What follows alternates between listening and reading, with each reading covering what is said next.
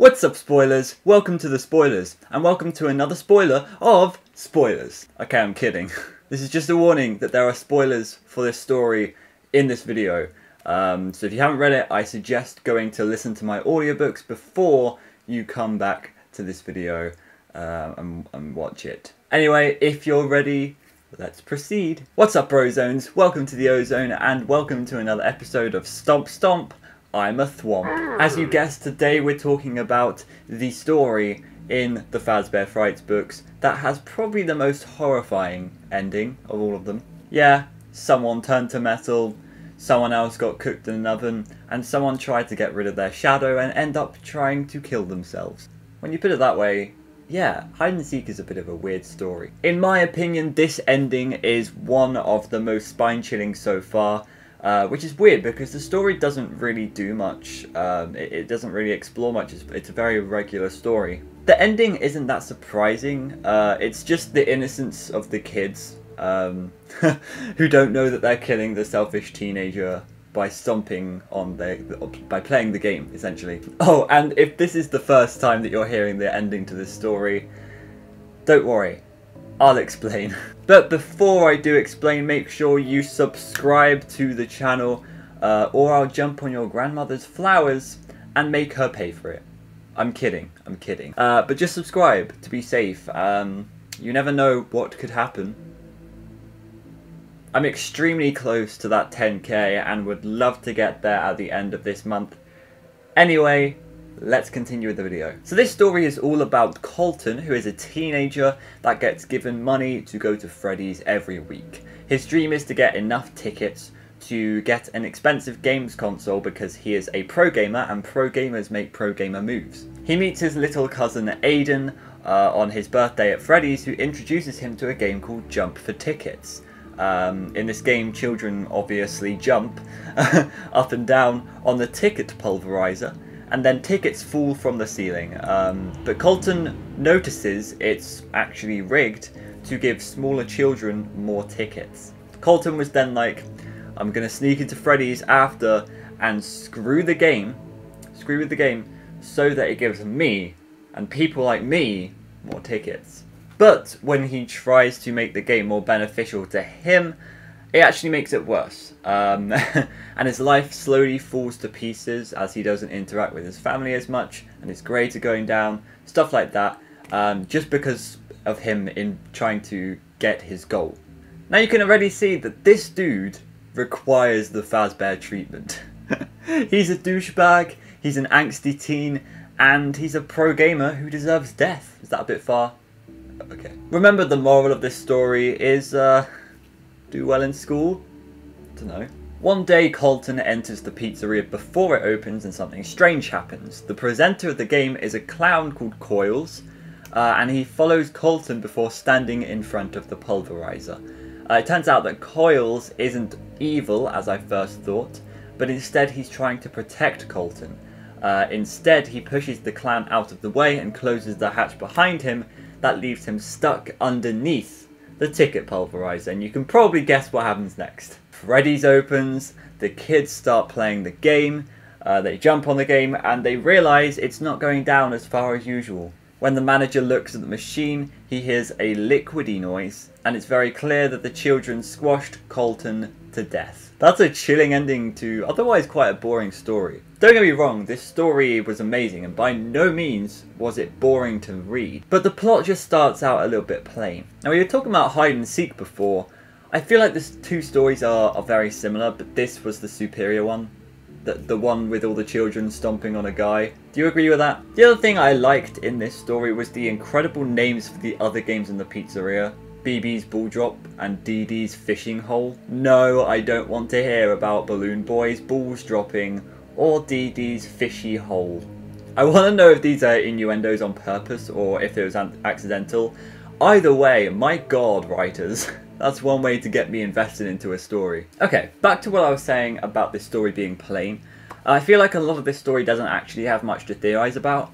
Uh, it's a very simple story about a gamer who gets frustrated by an arcade game, tries to mess with it, then receives the consequences. It's as simple as that. Much like a lot of the other stories, it's one where the main character gets what he deserves. There is one part of this story that we can talk about, however, and that is Coils the Clown. Before we talk about him, let me finish off the final part of this story.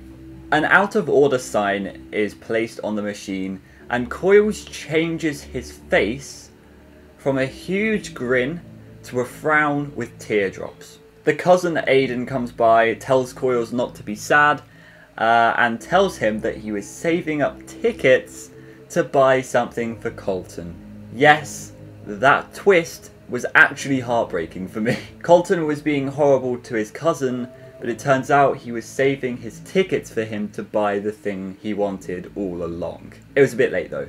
Let's not focus on the Aiden bit though. What the hell happened to Coils? A happy robot clown turned into a sad, crying clown when Colton died. But why? I didn't even know he could do that. Like, how is a robot able to cry? Well, it's not. What if Colton actually possessed the robot uh, at the moment he died? The change in facial expression could be the representation of the possession. There are a lot of long words in that. And yes, I actually believe this is what happened. Uh, right at the end, Coils and Aiden actually hugged, and I think assuming that Coils is Colton, it just makes the story a little bit more emotional. But also, if there was no possession in this story, what would be the point in Coils? It just makes sense that in this FNAF book it ends with a possession. Yes, don't forget it's a FNAF book. I do have another question for you though. Who does Coils actually represent? There must be a parallel here, and I think I have some options as to who this could be. First of all, remember that random clown that appeared in FNAF 6 then never came back again? What if it's him? Remember, this is just a kid's drawing uh, of a real animatronic that we've never seen before, and while I like this theory and how it gives that random clown some kind of purpose, um, I don't think it needs it. Firstly, he looks kind of scary, and I think Coils is a very protective and innocent robot rather than a possessed or cursed one. But also, it's just the fact that we've never seen this clown IRL before. Um, it very well could have been an old animatronic, and I think it probably was.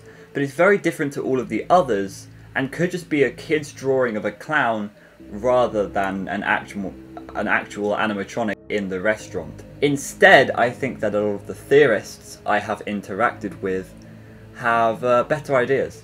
Coils the Clown is none other than Ennard, but not as we know him. If you recall Sister Location, Ennard is an animatronic that's made up of all of the fun times. His body is made of parts of other bodies, and his eyes has everybody else's eye colours. However, one thing that he does have that wasn't taken from any of the other fun times was his mask. This mask must have come from somewhere, so we are assuming that there was another Funtime animatronic we never saw with this mask. People just say it's an old Ennard, but I guess now we could call it Coils the Clown. Why? Well, the description of Coils matches the mask perfectly. Its lanky body was dressed in a lemon and lime coloured striped costume that was decorated with little jingly bells. Quote, now, let's look at Ennard. In general, he seems like he would have quite a lanky body. I mean, the real Ennard is quite a lanky robot. Um, but your little jingly bell should be ringing here because of the detail lemon and lime coloured stripes. Lemon and lime is yellow and green, just like the striped hat that Ennard's mask holds. That, for me, was the point at which I said, yeah, you know what, I believe this. And if you don't believe it, it's completely fine because this is all speculation and to be honest doesn't really matter that much to the FNAF lore. Like if, if it was actually a previous version of Ennard, what would this mean for parallels and stuff? Um, I don't know, may, maybe like Colton represents Michael, um, I don't know. Tell me guys what you think. I personally think that this story isn't one that is supposed to be thought about all that much. Instead, we leave all the talking for the other two stories that I've already made videos on that you can go and watch. Anyway, thank you for watching. Uh, make sure to subscribe if you enjoyed this video. Uh, next time we're going to be talking about the big one. Yes, the Stitch Wraith story of this book. I can't wait. This one is incredible, so yeah, just subscribe for that. anyway, see you then. Goodbye.